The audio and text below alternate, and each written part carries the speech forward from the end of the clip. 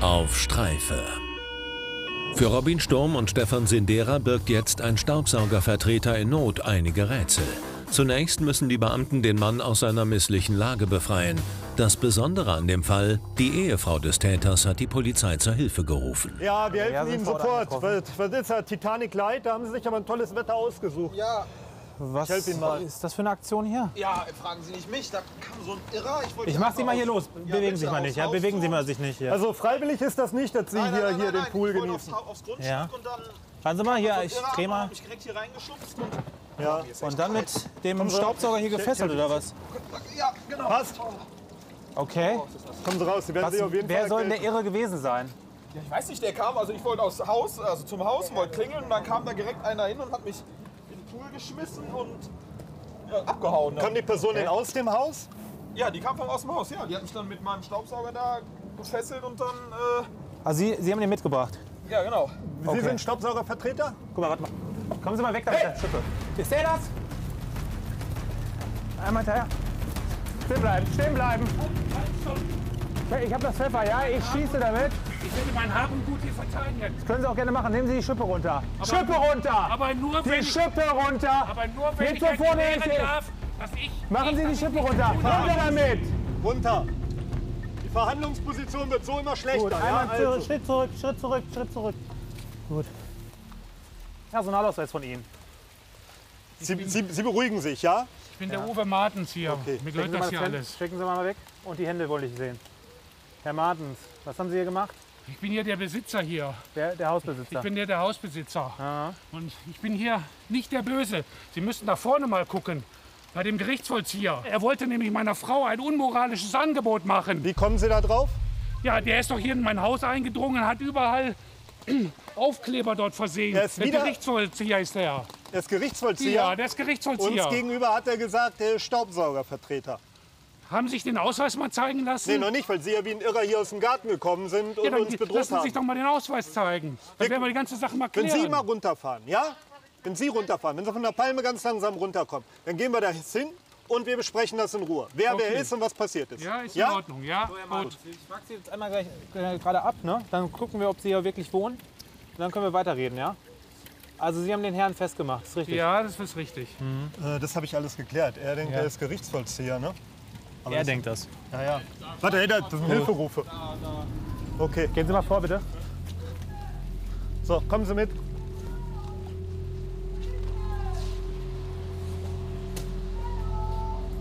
Vorne. Ja, Ja, hier rein. ja, genau, da rein. Wo kommen die Hilferufe her? Das ist aus dem Badezimmer, aus dem Oben. Badezimmer. Hier unten, hier unten. Ja, bleiben Sie mal schön bei mir. Guckst du? Ja. Hallo? halte fest. Hier ist die Polizei. Er ist in deinem Bad eigentlich. Passen Sie auf, ich komme jetzt rein. Gehen Sie von der Tür Was weg. macht Ihre Frau da und wieso ist die eingesperrt? Ja, die habe ich eingesperrt, weil dort mit dem Gerichtsvollzieher, angeblichen Okay, ein- einmal, Gerichtsvollzieher... einmal runter. Ich Gehen werde Sie jetzt, von der ich werde Tür jetzt jetzt einmal weg. einstellen. Aber Gottes Willen. Moment. Ganz, Was ist passiert? Ganz Wie ruhig. geht's meinem Mann und dem Gerichtsvollzieher? Das ist. Ihr Mann, beruhigen Sie sich bitte, Oh, ich ja? bin total Ihr Mann. Ihr Mann geht's gut, okay? Der Ehemann war offenbar der Meinung, dass es sich bei dem Vertreter um den Gerichtsvollzieher handelt. Unklar ist jedoch, warum der Mann derart wutentbrannt auf diesen losgegangen ist. Können Sie einmal was erklären, wie Sie jetzt da eingeschlossen sind? Ja, mein Mann, der ist völlig durchgeknallt. Der hat mich eingeschlossen. Ich habe ihm erzählt, der Gerichtsvollzieher war Ja. heute Vormittag da. Und sehen ja hier überall schon die Siegel, weil durch die Firmeninsolvenz ja, sind wir in den Schulden. Und äh, ja, als der Typ heute Morgen hier war, habe ich ihn gebeten, ob wir nicht noch ein bisschen Aufschub bekommen könnten. Okay. Wir würden irgendwie das Geld leihen. Und äh, ja, dann hat er mir halt das Angebot gemacht, ja, wenn ein bisschen Sex, wenn ich mich bereit erklären würde, dann Der, dieses Angebot kam vom Gerichtsvollzieher. ja, das kam vom Gerichtsvollzieher. Okay. Ich habe ihn natürlich, ich bin natürlich gleich rausgeschmissen. Das war auch der Gerichtsvollzieher, der richtig hier bestellt worden ist. Da haben Sie auch die Papiere von dem ja, mein gesehen. Mann hatte mir gesagt, dass es sein kann, dass er kommt. Und er war heute Morgen da. Und als mein Mann dann zwischendurch von der Arbeit gekommen ist, dann habe ich ihm das erzählt, dass er mir dieses Angebot gemacht hat. Und Der hat mir auch seine Telefonnummer da gelassen. Zwecks Identitätsfeststellung Ja. würde ich Ihnen jetzt mal einen Herrn zeigen und Sie sagen mir, ob das der Mann ist, Ja, der Sie gerne. halt auch. Ja, Ja, mal eben. Ähm, Ob das der Mann ist, der Ihnen dieses unmoralische Angebot gemacht Ja, hat ja. und ob Sie den als Gerichtsvollzieher identifizieren. Ja, Kennen Sie den Herrn? Den kenne ich nicht. Haben Sie nicht gesehen? Nein, habe ich Also nicht gesehen. der Gerichtsvollzieher, den, haben Sie, den hatten Sie in der Wohnung, Sie haben den Ja, der hat mir gesehen? hier auch seine Nummer Okay. da gelassen, hat gesagt, um 14 Uhr wird er wiederkommen. Bis dahin hätte ich Zeit, mir zu überlegen, ob ich auf sein Angebot eingehe oder nicht. Und er ist völlig Nein, ausgerastet. da, Okay. mein Name ist Daniel Fried, ich bin Ja, Staubsaugervertreter. können Sie mir einmal schon einen Ausweis geben? Dann sagen Sie mir jetzt mal bitte, wie Sie darauf kommen, dass das der Gerichtsvollzieher sein soll. weil ich ein Insolvenzverfahren laufen habe. Und dort war ich beim Amtsgericht und die haben gesagt, die schicken einen vorbei. Entschuldigen Sie bitte, ich muss den Herrn verwechselt haben. Mit seinem unmoralischen Angebot hat sich der Gerichtsvollzieher strafbar gemacht. Bevor Stefan Sindera und Robin Sturm dem Mann das Handwerk legen können, spitzt sich die Situation jedoch überraschend zu. Wir würden das jetzt erstmal mitnehmen, ne? Da steht noch Den Zettel. was. steht da? Okay, da steht auch noch was. Haben Sie das auch vorher gelesen? Was ist denn das? Mama, mach dir keine Sorgen, ich kümmere mich um die Sache. Die, oh Gottes Willen, das ist meine Tochter. Wahrscheinlich hat die alles mitbekommen. Wie alt ist Ihre Tochter? Meine Tochter ist 17, die macht im Moment eine Ausbildung als Masseurin. Hat die mitbekommen, wie der Gerichtsvollzieher ich habe Sie hier nicht so genau sexuell... drauf geachtet, aber es kann schon sein, sie war auf ihrem Zimmer und sie wollte ja dann auch wieder zur, zur Arbeit und Ich lass ja, mal, ich, ich kann lass mal genau äh, sagen. einmal über Mensch, dann siehst du, was du damit anrichtest. Du Und machst die ganze Familie kaputt. Ja genau, also sonst guck mal. Ne? Der Termin, wo sollte der sein? Welcher Termin? Der hier drauf steht. Die 14 Uhrzeit. Uhr, der wollte dann Also um hier 14 sollte Uhr der wieder hier sein, sein. okay. Ja, bis Ja, ja. dahin hätte ich noch Das war, ja, Zeit. das war ja der Termin okay. hier, ne? Das scheint auch alles äh, soweit zu stimmen. An und für den 1729 kommen. Äh, das heißt nämlich, wir werden jetzt äh, den Gerichtsvollzieher mal aufsuchen. Äh, ich hoffe jetzt nicht, dass Ihre Tochter dahin gegangen sich, Es hört sich für mich auch so an. Versuchen Sie, versuchen Sie bitte Ihre Tochter telefonisch zu erreichen. Soll er auf gar keinen Fall irgendwie in Eigenregie, hier wie Ihr Vater, äh, ja, hier versuchen, da irgendwas zu machen, ja? Machen Sie das sie bitte. kann. Während Polizeikommissar Robin Sturm den Gerichtsvollzieher von den Kollegen der Wache überprüfen lässt, versucht die Mutter vergeblich, ihre 17-jährige Tochter telefonisch zu erreichen. Die Handynummer ist wohl aus. Ich habe aber eine EMA mit einer Adresse. Super. Ja, gib mal durch, ich schreibe mit. Torben Krupp, 11.3.76 geboren. Wohnhaft Heisterbachstraße 200, links 50 393 Köln. Ja, die Heisterbachstraße haben wir mit. Äh, würden jetzt hier gleich versetzen. Der Gerichtsvollzieher hat bereits bewiesen, dass er extrem skrupellos vorgeht und zu allem bereit ist. Das bedeutet, die 17-Jährige befindet sich möglicherweise in großer Gefahr. Wer sind Sie denn? Ja? Sind Sie dann Frau Krupper? Ich bin Frau Krupp, ja. Achso, Krupp. Ja, ähm, wir wollten eigentlich zu Ihrem Mann, aber das ist gut, dass Sie da sind und könnten uns direkt Äh, Ich aufschließen. denke, dass der noch auf der Arbeit ist, aber Sie können Okay. gerne. Äh, Himmel Martens, Sie warten bitte hier. Ja, wenn Ihre Tochter wirklich hier sein Warten Sie noch mal sollte, kurz. Wir müssen ja, Kollegen- dann bringen wir sie auch Die ist da, sofort. die ist da Wir drin. wissen das doch gar nicht. Wir wissen das doch gar nicht. Sie fahren runter. Gut. Ist Ihr Mann zu Hause? Wissen Sie das? Normalerweise sagt ja auf ist er der noch Arbeit. auf der Arbeit. Also er dürfte nicht zu Hause sein. Wie, la wie lange arbeitet Ihr Mann schon als Gerichtsvollzieher? Ach, schon einige Jahre. Also über zehn Jahre schon. Im Inneren ist zunächst alles völlig still. Es scheint tatsächlich niemand zu Hause zu sein. Doch das ist nur die Ruhe vor dem Sturm. Bleiben Sie mal hier unten.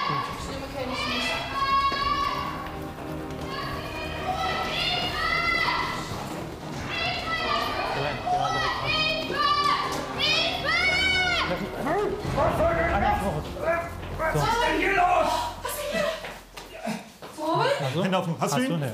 Ja. Machst, machst du ihn? ja, ich hab. Torben!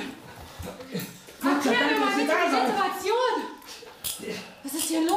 Einmal ganz ruhig. Herr, Herr, Krupp, Herr Krupp, Herr Krupp, wehren Sie sich jetzt nicht, ja? Frau Krupp, Sie können uns einen Wir Gefallen machen einmal. Handfesseln dran, wir machen die Sie gleich noch einen los. Moment draußen warten, ja? Einmal, einmal hoch, einmal hoch, einmal hoch. Hast du? Kümmerst du dich um ihn? Ich hab ihn, ich hab ihn, ich hab ihn. Das ist nicht so, wie es aussieht. Glauben Sie mir. Wie sieht es denn aus? Wollen Sie was erklären? Frau Krupp, Gut, ich drehe Sie Das jetzt. wollte mich verführen. Herr Krupp, ich drehe Sie jetzt einmal um. Haben Sie mich verstanden? Durch ihr schnelles Eingreifen konnten die Beamten das Schlimmste verhindern. Als der Vater der 17-Jährigen und der Gerichtsvollzieher aufeinandertreffen, droht die Situation erneut zu eskalieren. Ich war bei dieser Familie Ja, das haben wir soweit mitbekommen. Das weiß ich auch. ich bin hingegangen und habe meine Arbeit getan. Ja. Und dann kam die, die Frau und hat dann gefragt, ob wir das nicht anders regeln können mit den Schulden von ihrem Mann und hat dann versucht, mich, mich rumzukriegen. Und ich, ich habe gesagt, nein, so, so was mache ich nicht. Das ist nicht meine Art. So sieht das jetzt aber anders aus, ne? Naja, und dann kam die Tochter irgendwann und hat gesagt, sie, naja, sie würde mich massieren, wenn ich dafür den Eltern die Schulden erlassen würde. Und darauf sind sie eingegangen. Was erzählen Sie denn dann für einen Scheiß? Darauf sind Das sie ist doch eingegangen. wahr! So, bleiben Sie mal eben ruhig, ja? Ich will Ihnen erstmal aussprechen lassen. Und darauf sind Sie jetzt eingegangen. Naja, Ja, so wie es aussieht, ja schon, ne? ich dachte, eine harmlose Massage ist ja nichts Verderbliches. Aber jetzt eine harmlose Massage. Sie hat jetzt die Bluse aufgerissen, wie ich sehe. Ne, das Ich wollte wurde es schon- überhaupt gar nicht. Es war überhaupt nicht meine Absicht. Es war was ganz anderes vereinbart gewesen. Es war, es, es war niemals ausgemacht, dass es so weit kommt, wie es jetzt gekommen ist. Wahrscheinlich ist das alles ein abgekartetes denn mal Spiel. bereit, mir genau zu sagen, Ja. hey, das ist jetzt mal Ruhe, äh, mal genau zu sagen, was sich überhaupt abgespielt hat. Wir haben halt, also jetzt aus unserer Sicht, diesen Zettel gefunden im Haus Ihrer Eltern, dass Sie sich auf den Weg hierher gemacht haben. So, und wie ging es dann weiter? Richtig. Also ich habe das schon vor längerem alles mitbekommen. Ich habe ähm, mitbekommen, dass aktuell zu Hause nicht so eine gute Situation war. Wir hatten öfter Streit zu Hause gehabt. Meine Eltern haben sich öfter gestritten.